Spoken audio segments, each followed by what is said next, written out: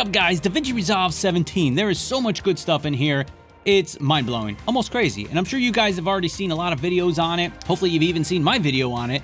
And today I wanted to take some time to jump into some of the features they added in Fairlight for working with your audio, because you guys are like me, love me some good audio, right?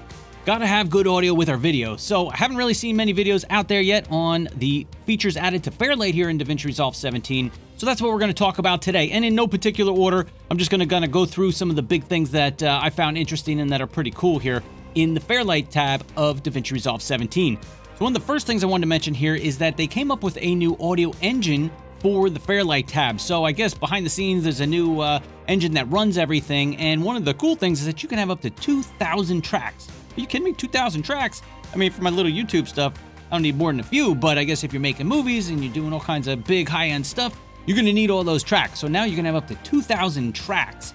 Pretty crazy, but uh, that's pretty sweet, I guess, if you need all those tracks. So now let's just jump right onto the computer here, and in no particular order, we're going to go through some of these cool updates here in the Fairlight tab. All right, here we are in DaVinci Resolve in the Fairlight tab. I have a clip in my timeline, and this is actually the clip we've been using for our audio tutorial series we've been going through the last few weeks. So uh, if you haven't seen that, little card above here, you should be able to click on that and check that out. So when you're working with your clips, you know, you can click on it and select it. And I usually use the selection mode tool here to kind of navigate around. But now in DaVinci Resolve 17, if you come over here and you select the edit selection mode tool, you're going to have all kinds of options that you can do with this tool when you're just hovering over the clip. And it all depends on where your cursor is on the clip. So you can come over and adjust your volume here. We've always had that.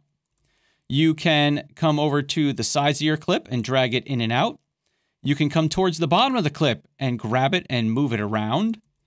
You can come to the top of the clip and fade it in or fade it out. You can even come in here and click and hold and drag and you're selecting a portion of your clip. So you can select a range like that, super easy and quick. And if you want to deselect your range, you can just click outside of your clip somewhere. And I think it's just really cool that they added so many different things that you can do with this one tool, so you don't have to constantly switch back and forth between tools.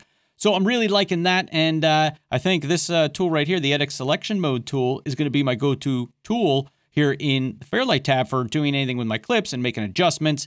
I can also just hover over my uh, volume line here and hold your Option or Alt key, click, and it's going to add a keyframe for you. So that's pretty cool. So the next awesome tool here in DaVinci Resolve 17 in the Fairlight tab that I wanted to mention is soloing your clip. So we've always had the option over here that you could click on this button and solo your clip, which means it'll play just the clip that has this solo button checked on. Or if you have multiple clips soloed, it'll play multiple clips. But that way you don't have to go through and mute all the rest of your tracks if you just want to hear one particular track. Well, now if you come over to your clip and you hold Shift and Command or Control on PC, and then you click your left mouse button, hold it down, and drag your mouse, it's going to automatically solo that clip for you. Tab here, we're going to be doing everything from setting our... So that is pretty sweet because you don't even have to click the solo button. You just hold Shift and Command or Control on PC.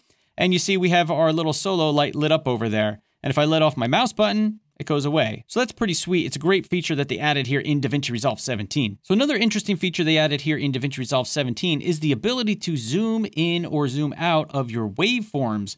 So I thought this was kind of interesting because you kind of have those options right here using this slider. But I guess if you wanted to zoom in on the actual waveform, you can do that now. So if you hold your Shift and Option or Alt on PC and roll your middle mouse wheel in, you can see it makes those waveforms bigger. Now, I'm not really sure why you would use this because it can kind of be deceiving on like where your audio levels are. You know, if you're basing stuff on how big that waveform is, which I've done that in the past, you know, kind of eyeball different clips to get the same height on the waveforms to kind of get them close as far as their levels are concerned. So, but if you're zooming in on the actual waveforms, that could be a little confusing. So I'm not 100% sure on the purpose of it, although it's cool that you can do it.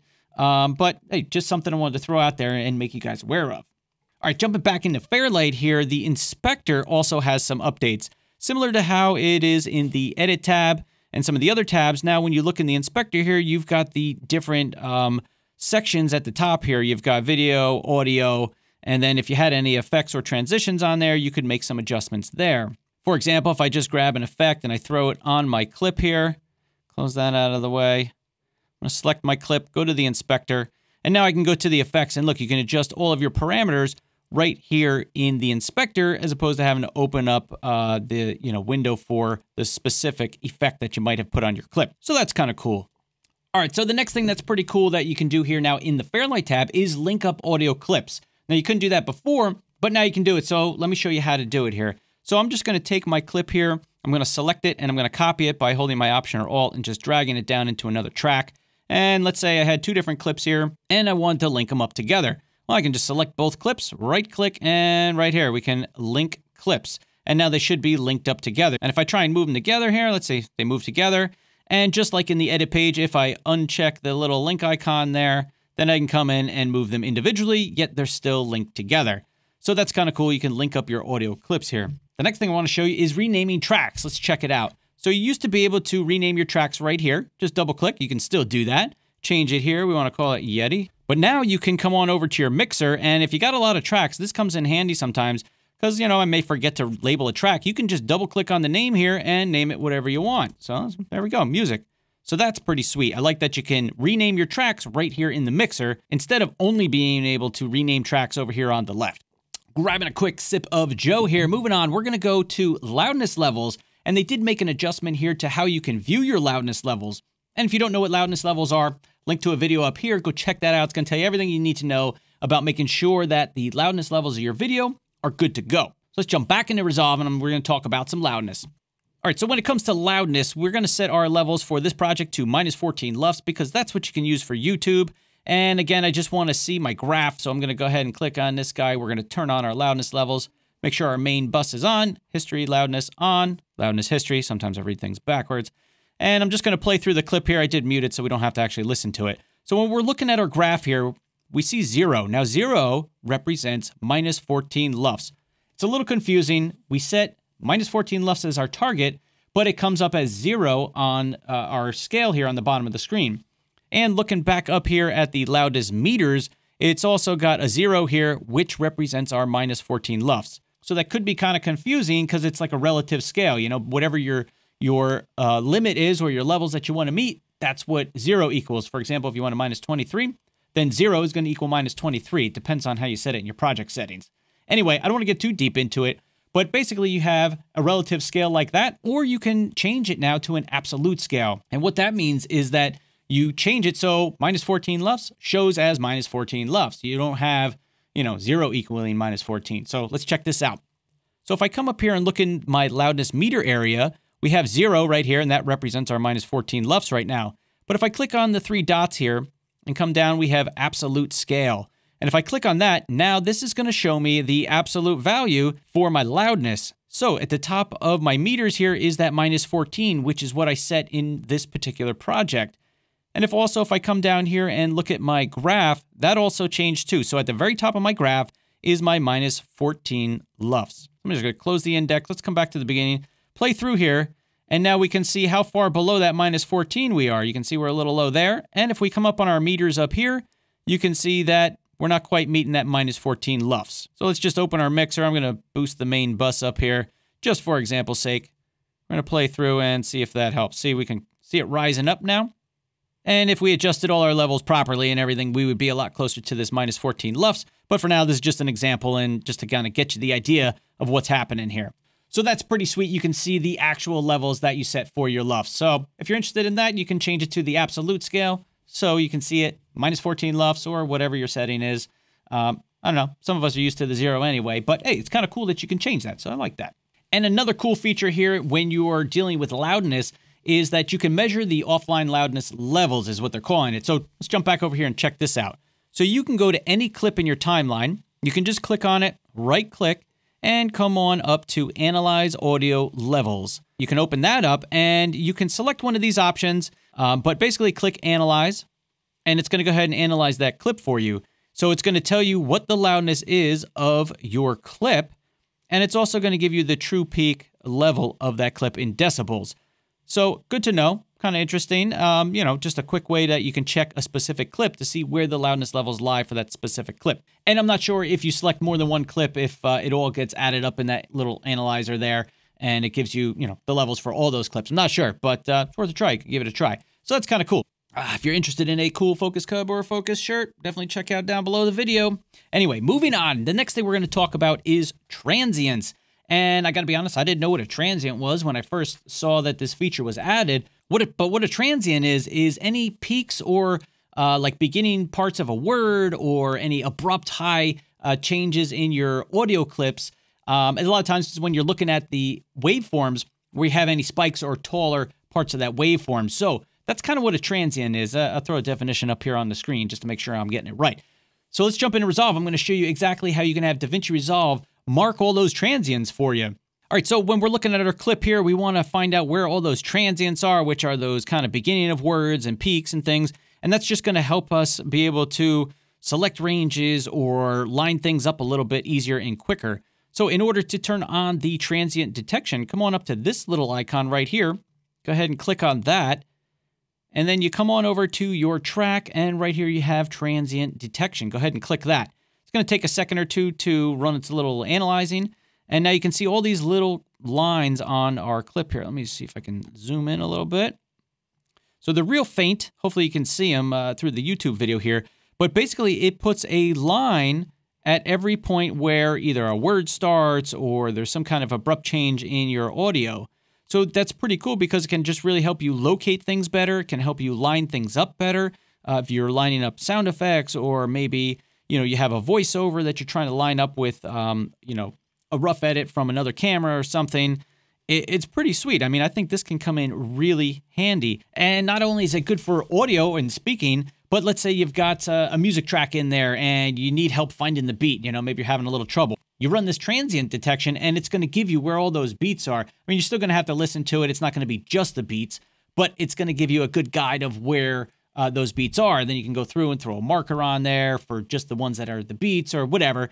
And then, you know, line up things like that. So that's pretty sweet. I'm to have to try that out on a music clip and see how that works out. Oh, and you can actually just right click on the clips as well and enable those transients so you can see where all those breaks are. So keep that in mind. You can either right click or click on the icon that is on the left hand side of the track there. So the next thing I want to talk about is a new effect that we got here in the effects panel, and it's called the Surround Analyzer. So let's go bring it up and I'll show you what it looks like. So if we come on over to our effects, you've got a few ways you can access them. You can either click right here and go through the menu this way, or if you'd like, you can come on up to the effects library and we have a new view, a new way that everything looks over here.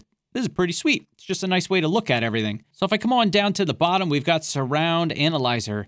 So I'm just going to go ahead and drag this onto my track.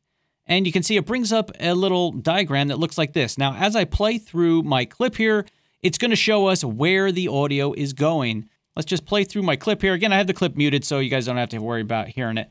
But if I look here, look at that. It's going towards the center, center channel there, a little bit to the right and left. And it's just kind of cool. It shows you where the sound is going. So if you're working on some surround sound or something like that, maybe this is a tool you could bring up that would help you just see where the sound is going. So kind of cool right there. So the last thing I wanted to mention here is that DaVinci Resolve 17 has a whole new bus setup. And if you remember what the buses were like in the previous version, you had your main out, you had subgroups that you could make, and you had auxiliary tracks. Well, now the buses are a lot more flexible and you can have a lot more of them and reroute things to different ways. So now you can link buses to buses, you can link tracks to buses, buses to tracks. You can really just move things all over and make, you know, more organized groups out of pretty much anything and do it however you want. So let's jump over here and I'm going to show you what that looks like. So to get into the buses here in DaVinci Resolve 17, you want to come up to the Fairlight menu and come down to bus format. So under bus format here now, it's just, you can just add a bus and you can have as many buses as you want, I think. Um, I don't know if there's a limit to them. You can have them be, you know, all kinds of different uh, formats, mono, stereo, 5.1, whatever you might need. And you can link things in a lot of different ways. So for example, we've just made six buses here. I'm going to hit OK. And then I'm going to come back to the Fairlight menu and come to bus assign. So now I can quickly come in here and select any one of my buses and assign any track or bus to another bus. Um, why might you use this? Well, let's say you've got, uh, I don't know, five different vocals. Maybe you're, I don't know, doing a podcast or something that you're filming. You've got five different vocals. So you adjust everybody individually. You got all their levels set good. But now you want to raise and lower them as a group. Well, instead of individually grabbing, you know, each person's, you know, fader or whatever and boosting their levels, you put them all together in one bus and then you can just make adjustments to that particular bus. You don't have to do all the individual channels, you just do the bus. So that's kind of the situation where you might want to group things together. Maybe you've got multiple sound effects, you want to they're on different tracks, but you want to group them all together. You can do that using a bus. When it comes to the buses, the other thing I wanted to mention is that now you can actually see your sidechain over here in the bus outputs. So if you come up to dynamics, you click on there, and let's say I've got my compressor on, and I want to send out this signal so that I can do some audio ducking on another channel. Now over on the side here, we have our sidechain meter, and if I come back, I'm going to close this and come back down to my mixer, you can see we actually can see our sidechain in our track now under the bus outputs. So that's kind of cool, and you've got the ability to turn it on and off. So that's something that we didn't have before, and if I even open up the mixer some more, you can see we've got our sidechain over here. So that's kind of cool that you can see it in there, whereas before we didn't have an option to see that. So the real advantage here is just being able to send whatever you want, wherever you want. You are kind of limited on how you could do that and uh, how many different, you know, buses or groups that you had in the previous versions of DaVinci Resolve, but now you've got a lot more options. So, I mean, if you're just, you know, like me, small time YouTuber, probably not going to use something like that too much, although there are times when I do, you know, work with the buses, or if you're making like, yeah, music video, or I'm filming my church group, something like that, then I might be using some of the more of the buses and kind of rerouting stuff. But for the most part, um, I just, you know, keep it with the basics. So you may not have a need for it, but if you do, it's nice to have the options to really move stuff around and do whatever you want with it. All right, so that's about all the uh, updates here that I'm going to be talking about. A lot of great stuff here in DaVinci Resolve 17, not only in Fairlight, but in the whole program. It's pretty sick. So anyway, you want to see some more audio videos, check up here, and uh, maybe see what YouTube recommends down there. If you like the video, thumbs up, subscribe to the channel if you haven't already, and I look forward to seeing you guys in the next video. Peace!